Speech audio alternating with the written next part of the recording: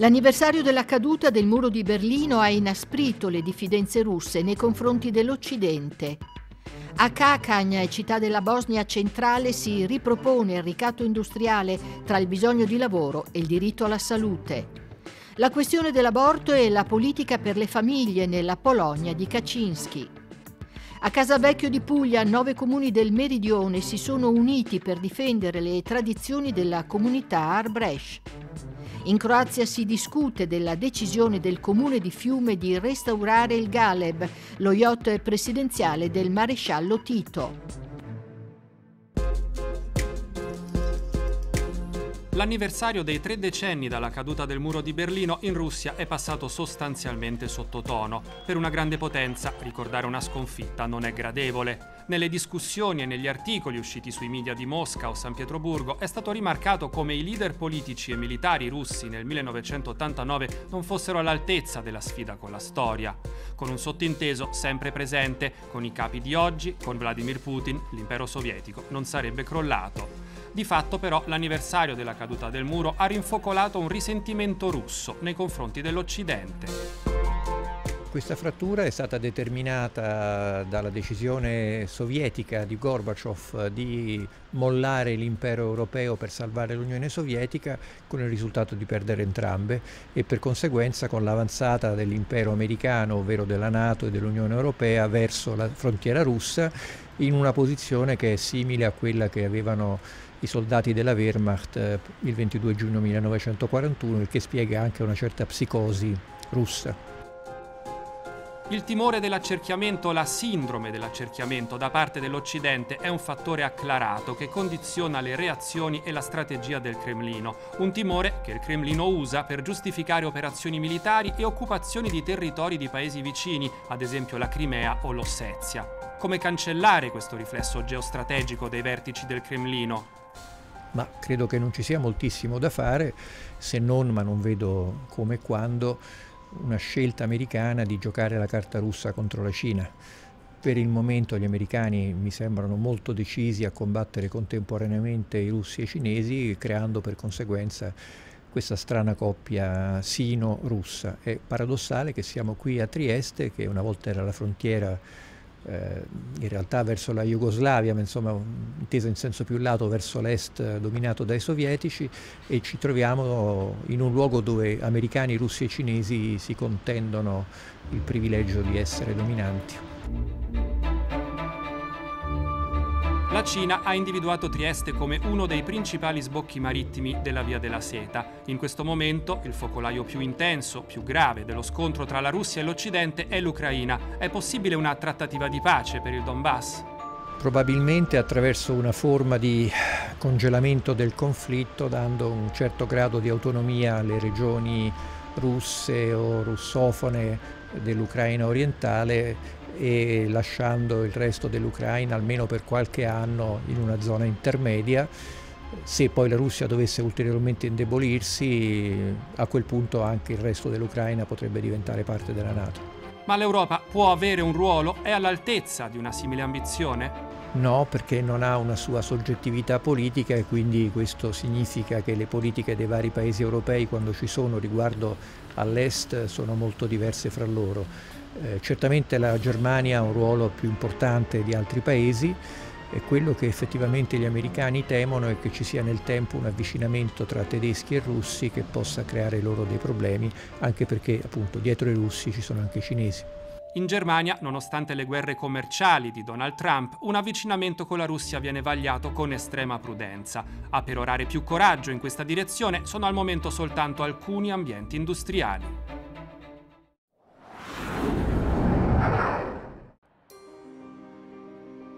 conflitto tra la difesa dei posti di lavoro e la tutela dell'ambiente non è un'esclusiva italiana e proprio nei Balcani vive alcune delle punte più acute. Il cantone di Zenica in Bosnia-Herzegovina rappresenta da questo punto di vista un caso piuttosto significativo. Le centraline per la misurazione della qualità dell'aria, sistemate nei pressi dell'acciaieria di Zenica, uno degli impianti più grandi del continente, hanno registrato tra il 2001 e il 2017 una media di oltre 200 sforamenti dei valori per ogni anno. dati resi noti dalle associazioni ambientaliste e ai quali però in pochi hanno voglia di guardare, come ci racconta un giornalista che si è occupato più volte del tema per una testata indipendente. E Herzegovina da il più delle volte chi solleva dubbi sulla qualità dell'aria che respiriamo viene accusato di mettere a repentaglio l'occupazione. L'ambientalismo non è certo in cima alle preoccupazioni delle persone, prima di tutto viene l'urgenza di avere un salario sufficiente per mantenere la propria famiglia. È la stessa contraddizione che vive Kakany, cittadina di 40.000 abitanti a poca distanza da Zenica. Qui tutto o quasi ruota intorno alla termocentrale che dà lavoro a oltre mille persone. Ad alimentarla c'è una miniera di carbone dove il numero delle persone impiegate è di 1800 e poi c'è anche un cementificio. Ma ad attirare l'attenzione è soprattutto la centrale, il cui piano di ampliamento è stato recentemente bloccato da un esposto presentato da una ONG locale. I dati sull'inquinamento ambientale della centrale di Cacagn sono evidenti, ma non sempre le battaglie ambientaliste vengono accolte con simpatia dalla popolazione locale, anzi la diffidenza è piuttosto alta. Abbiamo portato avanti questa battaglia non perché siamo contrari all'espansione della centrale, ma perché ci sono delle regole che vanno rispettate e noi chiediamo solo questo. In particolare vogliamo che vengano montati i filtri per la desolforazione che c'erano stati promessi e che non abbiamo mai visto. Ad Armanforte, alle richieste della ONG, seppur con le dovute cautele istituzionali, c'è il giovane sindaco che ha creato un'alleanza con l'amministrazione di Tuzla, dove c'è un impianto uguale a quello di Cacagni. Recentemente il primo cittadino ha scritto al governo centrale per sollecitare gli interventi per ridurre le emissioni dei camini della centrale. Questa è una città industriale e l'inquinamento è il frutto delle attività economiche principali. La questione è quindi molto delicata. Abbiamo chiesto al governo che vengano installati entro il 2019 i nuovi filtri. Solo dopo si potrà procedere all'ampliamento. Nel frattempo vogliamo ottenere i risarcimenti che ci spettano. Soldi che l'amministrazione vorrebbe spendere anche per aumentare il numero delle case collegate alla rete del riscaldamento, perché gli edifici che utilizzano caldaie autonome producono un inquinamento paragonabile a quello della termocentrale. Proprio il sindaco ci fa vedere una ricerca che testimonia come il 60% dell'inquinamento sia proprio il frutto del riscaldamento domestico. Una battaglia che poi è anche un fatto di cultura e non a caso Alternative organizza dei corsi nelle scuole per sensibilizzare i ragazzi su questo tema. Postoji jedna mjerna stanica u... Per dare un'idea del problema, basta dire che a settembre 2018 gli abitanti di Cacagn con un tumore ai polmoni erano oltre 500 e il numero cresce ogni giorno, così come crescono altre patologie che non vengono conteggiate come asma e problemi respiratori. Lavoriamo con i ragazzi delle scuole perché vogliamo che il tema si radichi nelle loro coscienze prima che sia troppo tardi. La povertà di mezzi economici del paese certo non aiuta aiuta, ma anche da queste parti c'è chi si impegna perché il diritto al lavoro non sia in competizione con quello alla salute.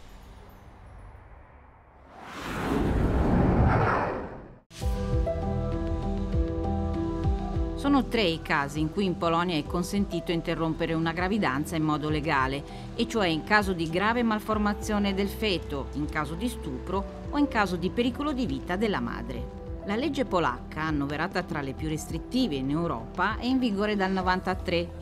Fino agli anni 90, infatti, la Polonia comunista era considerata uno dei paesi più permissivi in materia. Una questione è tornata sotto i riflettori pochi mesi fa per la proposta parlamentare intesa ad eliminare le malformazioni del feto tra le casistiche consentite appassionate le proteste di oltre 100.000 donne a Varsavia e in altre città, organizzate dal movimento Sciopero Femminile, che sono riuscite a scongiurare i cambiamenti legislativi. Riaperto il dibattito in tema in una nazione in cui vivono molti cattolici osservanti. Con tutte le analisi e gli esami che abbiamo a nostra disposizione, Quando vediamo un bambino fin dal concepimento, com'è possibile essere a favore della privazione della vita? Qui non si tratta solo di questioni squisitamente religiose. Qui non si tratta di essere cattolico, protestante, islamico, ateo. Qui si tratta di avere a che fare con una creatura, un essere del tutto innocente. Sono a favore dell'aborto, come sono a favore di qualsiasi altro tipo di operazione di carattere medico, quindi della libertà di scelta delle donne su cosa fare del proprio corpo. A volte la contraccezione può fallire e il feto può presentare malformazioni che rendono necessaria questa decisione. Sono profondamente liberale e penso che l'aborto dovrebbe essere una decisione personale. Se qualcuno se la sente e lo vuol fare, dovrebbe essere accessibile secondo richiesta. Io sono cattolico, cristiano, abbastanza conservatore, di destra, quindi ovviamente la mia posizione in materia è abbastanza chiara. Io sono completamente a favore della vita, quindi sono assolutamente contro l'aborto. La legge ora in vigore è un disastro e se dovesse essere ulteriormente inasprita, di sicuro si assisterebbe a un turismo diretto in Germania, Inghilterra o altri luoghi in cui praticare un aborto. In realtà già ora i media discutono sul numero delle donne polacche che ogni anno espatriano per abortire per cause che non sono contemplate dalla legge in vigore. La stampa internazionale calcola circa 80-150 mila casi l'anno. Difficile però stabilire numeri certi. Si tratta di statistiche che non sono ufficiali. A mio parere sono fornite dalle organizzazioni della sinistra, a cui non dobbiamo necessariamente credere. A mio parere 100.000 non è un numero corretto per quantificare le polacche che espatriano ogni anno per abortire. Sono molte, molte di più in realtà. Le polemiche si sono riaccese lo scorso ottobre con l'approvazione da parte della Camera di un disegno di legge che prevede una pena di tre anni per chi promuove i rapporti sessuali di un minore. Un'iniziativa che prevede punizioni anche in ambiti professionali relativi all'istruzione o alla cura, dagli insegnanti ai medici, imprigionabili anche quando danno consigli o rispondono a domande sul sesso in presenza di minori. A Cracovia abbiamo già organizzato una protesta sotto la curia. Ci sono bastati pochissimi giorni per organizzare le proteste contro la restrizione sull'aborto e scendere in strada. E questa volta, per la legge sull'educazione sessuale, ci abbiamo messo un solo giorno. Vi possiamo garantire che la prossima volta ci metteremo soltanto un'ora.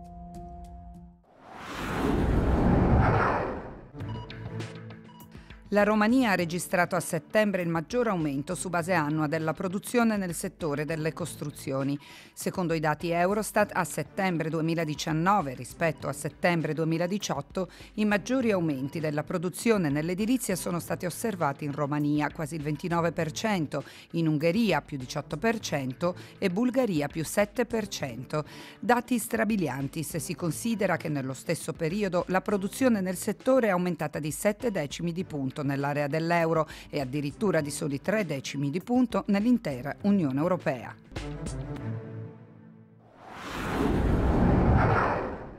Mirsina Erdata Catundion. Benvenuti a Casalvecchio di Puglia.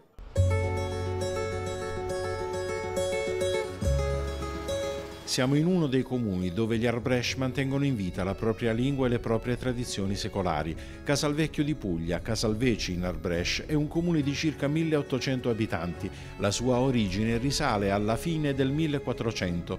Siamo qui in un giorno particolare per l'Arberia. Oggi i rappresentanti di nove comuni firmeranno un protocollo d'intesa per la promozione dell'identità e della cultura Arbresh, ospite d'onore il presidente della Repubblica di Albania, Ilir Meta. Eccoli i nuovi comuni che uniranno le proprie forze in difesa dell'identità culturale. Sono molto distanti tra loro e questo rende più difficile il lavoro comune. Da dove cominciare? Dobbiamo puntare al, per la conservazione nostre, della nostra origine, della nostra cultura, dobbiamo iniziare da più piccoli. La conservazione della lingua è fondamentale eh, per, per, per, per fare questo, dai più piccoli ai più grandi, anche la generazione intermedia, ma tutti, tutti per salvare la nostra lingua. I più piccoli sono stati loro ad accogliere il presidente Meta. Oh, feste male, oh, che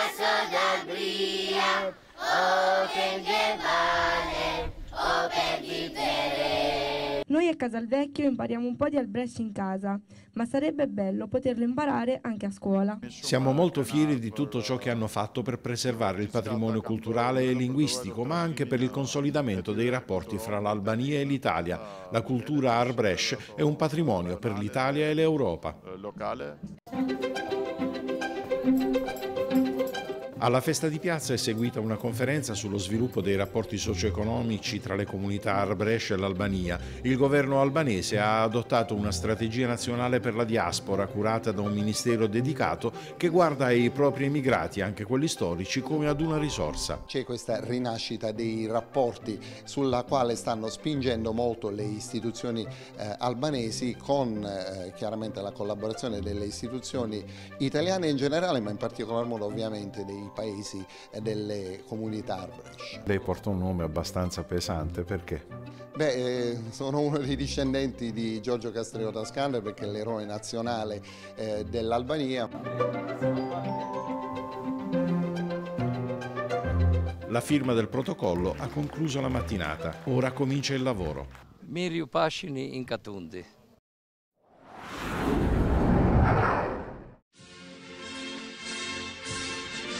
È stato uno dei simboli della Jugoslavia di Tito, il Galep, il Gabbiano, la nave su cui il leader della Jugoslavia socialista riceveva teste coronate e statisti, ma anche attori e protagonisti del jet set internazionale. Sui ponti del Galep sono sfilati Elizabeth Taylor e Richard Barton, Yul Brynner, Silvia Koshin, Sofia Loren e Ponti. La nave, corrosa dalla salsedine e dall'incuria, da anni è attraccata nel porto di Fiume l'amministrazione della città croata, che nel 2020 sarà una delle capitali europee della cultura, ha deciso di restaurare lo yacht e di trasformarlo in museo. Una nuova vita per la nave costruita nel 1938 a Genova come trasporto veloce per le banane del neonato impero di Mussolini, poi trasformata in posamine durante la guerra, affondata nel 1944 nel porto di Fiume e poi recuperata dagli jugoslavi. Una nave innanzitutto per i viaggi appunto presidenziali e eh, diplomatici eh, di Tito, in cui eh, Tito compie eh, alcuni dei suoi viaggi eh, più importanti. Compie il primo viaggio, per esempio, dopo la rottura con l'Unione eh, Sovietica, nel 1953 va in Inghilterra proprio con questa nave ed è dalla seconda metà degli anni 50 che inizia a fare una serie di viaggi in quello che era definito il terzo mondo e quindi va, fa il primo viaggio in India, dopodiché inizia a girare tutti i paesi africani e qui proprio su questa nave nasce l'idea di creare il movimento eh, dei non allineati. Ed è proprio su questa nave appunto che ci sono le discussioni, i dibattiti che portano appunto al compimento eh, di questo movimento che verrà creato poi con la conferenza di Belgrado eh, nel 61. La decisione di trasformare il Galep in museo ha provocato una violenta polemica nel Consiglio Comunale di Fiume, con la destra conservatrice che ha accusato il sindaco socialista Vojko Obersnel di voler creare un monumento a Tito. La memoria del periodo jugoslavo comunista in Croazia è divisa. Le reazioni dipendono dal vissuto della persona oppure della sua famiglia. C'è un ricordare positivo della sicurezza sociale e dello sviluppo industriale. C'è invece un ricordo altrettanto radicale ma negativo riguardante la repressione, la negazione non tanto dei diritti democratici ma di quelli nazionali e religiosi. In elementi potiskivanja religije ili nacionalnog osjećaja. Ma nella politica e nella società croata, quanto è ancora presente questa discussione sul passato jugoslavo e socialista? Nella campagna elettorale ora in corso la presidente Kolinda Grabar-Kitarovic ha definito la Jugoslavia uno stato dove c'era un solo tipo di yogurt. Ora tutti discutono di questo yogurt del passato, ma nessuno dei candidati pensa di proporre qualche idea anche per il futuro. Il comune di Fiume, con la trasformazione del Galep in museo, punta soprattutto al nuovo bacino del turismo mondiale, l'Asia, e in questo contesto sul Galep verrebbe presentata la storia del movimento dei non allineati, la più grande intuizione di Tito in politica estera recuperare diciamo, tutta questa serie di eh, elementi con- che contraddistinguono questa eh, pagina della storia sarebbe importante. Sarebbe importante per restituire questa dimensione globale, ma anche per restituire questa pagina della storia alle nuove generazioni eh, nate in Croazia eh, dopo la dissoluzione della Jugoslavia. E di questa pagina sanno poco o niente. Sui sei ponti e nei saloni dello yacht saranno presentate anche la storia della nave e della città Per il restauro del Galep il comune di Fiume ha deciso di investire circa 4 milioni e mezzo di euro.